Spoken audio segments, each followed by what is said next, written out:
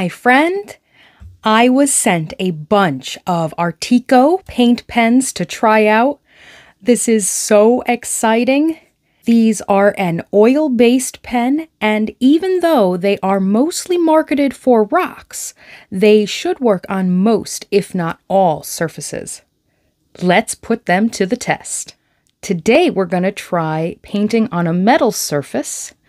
For this, I had to borrow the lid of Evie's treat jar. See, very metal. Uh, I think I'm going to paint a rainbow on it.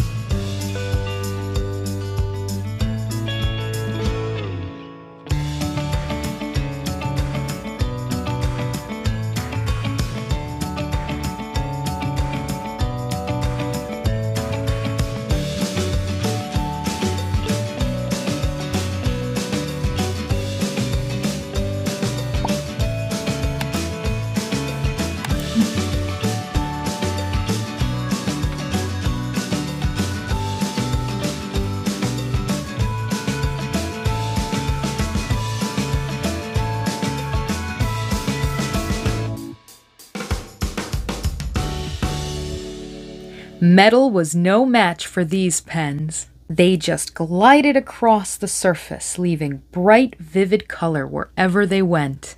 I had no issues with splatter when I used the fine tip pens to make my spots, and we continue to have an excellent drying time.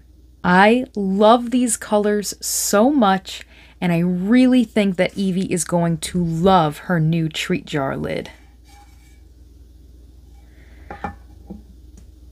I am in such awe of these pens. They have been fantastic, and I cannot believe that we've done seven videos already. These pens have so much potential, and I'm so happy that I was asked to test them out. Join me next time for the final video in this series when we test these pens on a ceramic surface. I've got something really special planned, and you won't want to miss it. I hope that you have enjoyed this video as much as I enjoyed making it, and I hope it has inspired you to want to try ARTIQO paint pens for yourself. Thank you so much for watching. Have a magical day.